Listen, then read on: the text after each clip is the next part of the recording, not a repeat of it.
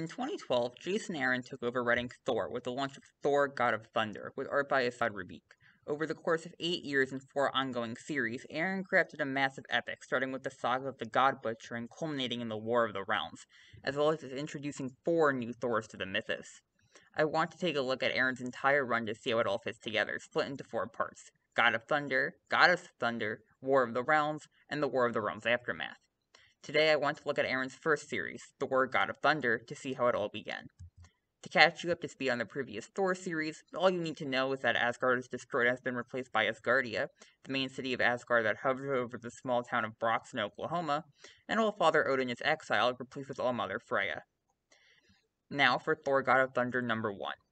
This issue is split between three separate time periods, 893 AD, the present day, and the far, far future, following the Thor in each one.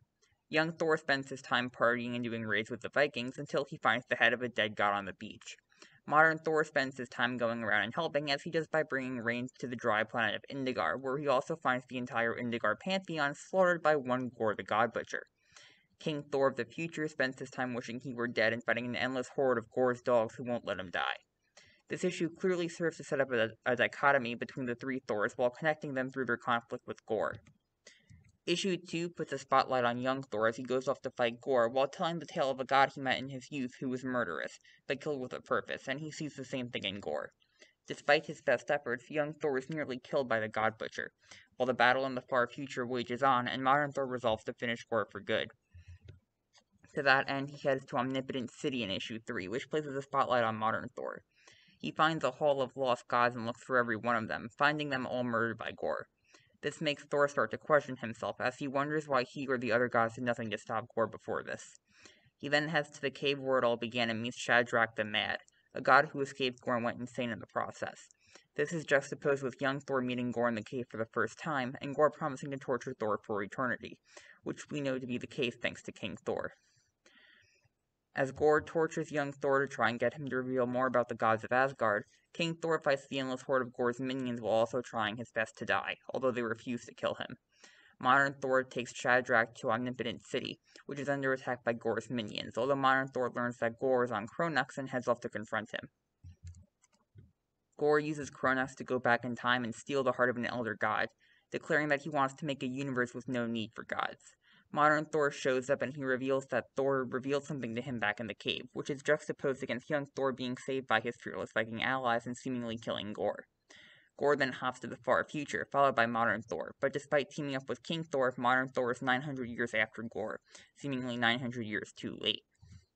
Issue 6 is Gorr's origin story and shows how he watched his parents and later wife and children die on a barren, dry planet, as none of the gods answered his tribe's prayers.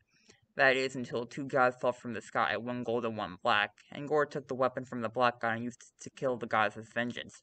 Then set off with the le- weapon, later known as All Black the Necrosword, to commit deific genocide.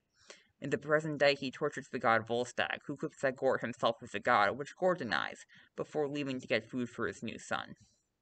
Back with the Thors, modern Thor and King Thor prepare for battle, while Gorr pulls young Thor from the past and forces him to work as a slave on the God Bomb, the bomb to kill all the gods across time, created by Shadrach, the god of bombs. Young Thor then meets his three granddaughters and spends no time rebelling, being using unstable material hidden by the god slaves over the years to try and blow up the God Bomb, but fails. Instead, he's blasted into space where he's caught by the other Thors and prepares to join them in battle. Issue 9 is an epic battle the whole way through, between all three Thors and Gorr, battle with immense power across the galaxy with enough force to put some shonen anime to shame. The battle ends with all four colliding into a, into a star, with Gorr emerging victorious. Gorr prepares to activate the God Bomb with the heart of young Thor, and his wife calls Gorr her god, causing Gorr to kill her in his rage. His son sees this and finds modern Thor, and tells him that he'll pray to him to kill his father, who has become mad in his quest. Modern Thor takes the Mjolnirs of both himself and King Thor and to stop the explosion of the God Bomb, but seemingly fails. However, he manages to succeed, drawing the black energy of the Necrosword into himself and using it to crush Gorr. Gorr's son comes to see his dying father and calls him the god of hypocrisy for becoming a god in his quest to kill them, after which the Necrosword energy that made Gorr's son dissolve, and young Thor decapitates Gorr with Jarnbjorn, his axe. King Thor then sends the two younger Thors back home, concluding the epic arc that really works as his own story, as well as the start to Aaron's run. The art by Ribic is excellent and the dialogue is great, with a nice blend of humor and seriousness. The narration is also told in the most epic prose, making it sound like Aaron is really writing about ancient mythology of old, with epic epithets thrown everywhere. The two big plots going forward will be young Thor's determination to lift Mjolnir, and modern Thor's feeling that Gorr was right, that the universe would be better without the pettiness of gods. This arc also starts to play with themes of power and what it means to be worthy, major themes throughout Aaron's run, all the way to the end. The story is just on such an epic scale that won't be matched for a while, although it doesn't mean the next arcs are any less good. The rest of this series focuses on modern Thor, with starting with him hopping around Earth and helping some people out. He also goes on a date with environmental shield agent Roz Solomon, who is investigating the mega oil company Roxxon. Thor then sees Jane Foster, who is recovering from cancer and refuses Thor's help, wanting to fight it alone, although he does take her to the moon to vibe. Issue 13 starts the next big plot, with the evil Dark Elf Malekith the Accursed, a classic Thor villain, being broken out of Niflheim held by his fellow Dark Elves, including one called Scumtongue who doesn't talk. Volstagg of the Warriors 3 is also upgraded to a Senator of the Congress of Worlds before going off with Thor, Lady Sif, and fellow warriors Hogun and Fandral to fight Malekith in the Dark Elf realm of Svartalfheim, as Malekith wants to make the Dark Elves great again and conquer all nine realms, slaying anyone who stands in his way. They save a Dark Elf named Waziria before Malekith escapes. In response to these attacks, the Congress forms the League of Realms, led by Thor and composed of the light elf Honeyshot, the mute giant Agi, the dwarf Screwbeard, Ood the troll, and Waziria. They confront Malekith in the dwarven realm of Nidavellir, where the Dark Elf Queen is hiding, but Malekith slays her, making him the official king of the Dark Elves. The League of Realms then confronts Malekith in Jotunheim, the realm of giants, where he is slaying Dark Elf refugees and succeeds in killing Agi before making an alliance with the Frost Giants, the League comes to assume that there is a traitor in their midst, so Thor kills Ood and takes Waziria to the Dark Elf ruling council while Malekith attacks, revealing Thor to have been infected with the bug that he was using to track them, making Thor the actual traitor, although not really. The bug is killed and Ood is revealed to be alive, with Thor having used some magic to fake his death. Malekith is defeated, but the Dark Elf Council elects Malekith as king officially, and Waziria takes his place in Niflheim to try and create unity and peace among the Dark Elves, greatly upsetting Thor, although there's nothing he can do. The rest of the League part is allies, so Malekith plans to make his own league with the Frost Giants and the Fire Demons of Muspelheim. This arc is also great, although not as solid as the first one, but it doesn't need to be since it kicks off Aaron's longest running and main plotline, that of Malekith and his plans, and finally draws the Nine Realms into play, something that will also be in focus for the rest of the run. Issue 18 is a filler issue where young Thor fights and kills a dragon he befriended because the dragon decided to become like his father and eat humans. Issue 19 starts the next big arc, called The Last Days of Midgard. Thor teams up with Agent Solomon to try and stop the Roxxon Energy Corporation and its CEO Dario Agger from destroying the natural systems of the planet in order to profit off it, while King Thor seeks to revive the dead Earth at the end of time, only to be met by Galactus, who wants to eat it. King Thor battles Galactus, and Thor and Solomon deal some blows to Roxxon, but Solomon warns Thor that Roxxon will fight back. It also turns out that Agger can transform into a Minotaur, which is fun. He's also set up Roxxon plants above and around Broxton, turning it into a toxic city, before filing lawsuits against Thor for the destruction that Thunder God caused in all his attempts to destroy Roxxon's plants, preventing Thor from approaching Broxton at all. Thor approaches anyways, of course, prepared to do anything to let Agger free Broxton. Agger has other plans, releasing a bunch of trolls, led by King Ulik, to ravage Broxton. They also nearly murder Solomon, but she comes out alive, revealing that the 14 trolls she killed to protect Broxton are the first things she's ever murdered. Thor also battles Ulik and the transformed Agger, defeating them both in combat with the help of Mjolnir. Unfortunately, Broxton is left in ruins. At the end of time, King Thor's granddaughters help him fight Galactus while he harnesses the forgotten power of All Black the Necrosword, temporarily gaining the beautiful epithets like All Black the Allfather and the God of Butchers, and uses it to defeat Galactus and save Earth. King Thor's blood restoring life to the planet, bringing the whole story full circle. Issue 24 is an epilogue to that story, showing Agger turning the world against Asgardia after blaming them for the attacks on Broxton, although the people of Broxton know different. Thor and Roxxon, uh, Thor and Roz help clean up the town, and despite Asgardia leaving for the stars, Thor leaves his wing of the palace behind to give the people of Broxton a new home. Jane Foster also heads to his Asgardia to be the representative of Midgard in the new Council of Congress of Worlds. Agger sets his sights on the Nine Realms, and King Thor brings life back uh, brings Earth back to life as Galactus is infected with All Black. The Last Days of Midgard is about trying to save a dying world from itself, the dual storyline showing the lengths that Thor will go to protect Earth, either from internal or external threats. It also shows that despite being ruined in the present, Earth will flourish again in the future, and Thor will one day keep his promise to save the dying world.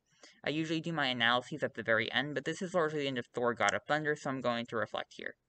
Each of the stories serves to show off the world, with the God Butcher showing Thor's personality and history, as well as exploring what it means to be a god and, and be worthy, while the League of Realms serves to show off the Nine Realms, functioning as a light-hearted setup before the last days of Midgard hones in on Thor's love of Earth and the damage that people can do to it. If the God Butcher arc is about someone becoming a god through power, Last Days of Midgard is about someone becoming a god through money, both in an effort to selfishly destroy, contrasted against Thor, who is worthy because he seeks to selflessly help, help others, shown repeatedly throughout both, both storylines.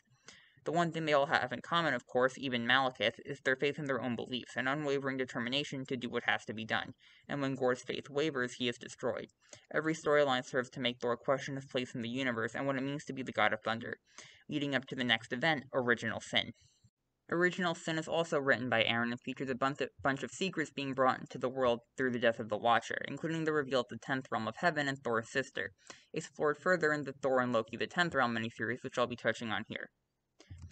In it, Freya reveals to Thor that the Asgardians fought the angels of heaven long ago, and when the Queen of Angels killed Thor's sister, Odin split them off from the world tree and banished them. Thor decides to recruit Loki's help to break into heaven, as Loki has been going through a redemption arc and fighting his evil future self. Once there, Thor and Loki are attacked by angry, violent angels who want nothing to do with the Asgardians. While Thor fights, Loki sneaks off and tries to kill the Queen of Angels, but she realizes that he is a frost giant and convinces him to talk with her. Meanwhile, Angela, the Guardians of, Gal- of the Galaxy, the fiercest angel to ever live who managed to escape heaven to earth, is, ma- is manipulated by future Loki into going back. There, she engages in combat with Thor while the Queen of Angels explains to Loki that angels feel that honor is useless and work only to win and make as much money as possible, betraying whoever they have to in the process. In the end, Angela defeats Thor, but he is taken in by the new mistress of strategies, who turns out to be Loki, who gender bent himself to better fit in. Loki then takes a bunch of Death Fleas to kill Odin, but has them destroy themselves and frees Odin and Odin's brother Kol from their prison. Thor, meanwhile, breaks himself out by summoning a storm. Thor and Angela have a rematch, but Odin arrives and reveals that Angela is actually Thor's sister, causing the Queen of Angels to exile Angela from heaven. Thor, Loki, and Odin then head off, as does Angela, separately. The story itself here is fine, and the art is fantastic, but it's not super deep. The main points here are freeing Odin and introducing Angela in heaven. Original Sin has one more surprise in store, however, as during the climax, director Nick Fury of S.H.I.E.L.D., armed with the omniscient knowledge of the Watcher, whispers Thor a secret, making him become unworthy and drop Mjolnir on the moon. This moment is ultimately what God of Thunder has been leading up to, and although done kind of poorly in story, it works as an impactful moment in retrospect. God of Thunder has one more issue, issue 25, which is just a teaser for the next era, seeing as it is a pair of stories framed as being read by King Thor's granddaughters from his library. Both have different art styles, and both look great. The first tells the origin of Malekith, who was a war-torn orphan who learned sorcery to cause a war to end all wars, the War of the Realms. The second sees young Thor battle frost giants who are trying to revive their dead king Laufey from a magic skull. Finally, we get a teaser of the next Thor, who will be female, from a book titled Unworthy. The final page is an ominous full panel shot of Thor trying to lift Mjolnir. Come back next time to find out the identity of the goddess of thunder as the War of the Realms breaks out, wills are tested, and we find out what it means to be a Thor. See you then.